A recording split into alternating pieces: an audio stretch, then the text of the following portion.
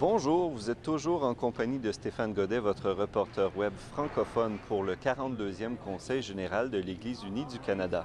Lundi, grosse journée aujourd'hui pour les délégués qui auront 10 heures euh, d'activité à leur programme. Aujourd'hui, on va entendre entre autres choses le rapport du Conseil des ministères autochtones. Euh, ce midi, il va y avoir des ateliers d'apprentissage pour les délégués qui le souhaitent, pour les délégués qui, qui souhaitent s'inscrire. Il y a toute une série d'ateliers d'apprentissage auxquels ils peuvent s'inscrire sur différents sujets. Ce sont des ateliers qu'on suit en même temps qu'on mange son sandwich, mais ce n'est pas obligatoire. Euh, cet après-midi, les délégués qui sont élus, tous les délégués ici ont été élus par un des 13 synodes de l'Église unie du Canada. Cet après-midi, en fin d'après-midi, il y aura une réunion de synode. Chaque délégué retourne dans son groupe, dans son synode pour une réunion euh, de synode qui devrait se terminer vers 6 heures, juste à temps pour le souper.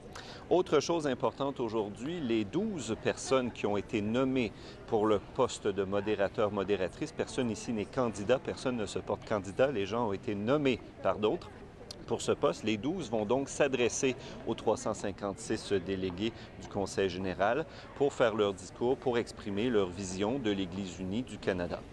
Continuez de nous suivre sur la page Facebook MIF l'Église unie, sur égliseunie.ca, notre tout nouveau site web francophone, le compte Twitter Église unie du Canada et pour voir les travaux en direct, c'est sur gc42.ca barre oblique live qu'il faut aller. À plus tard.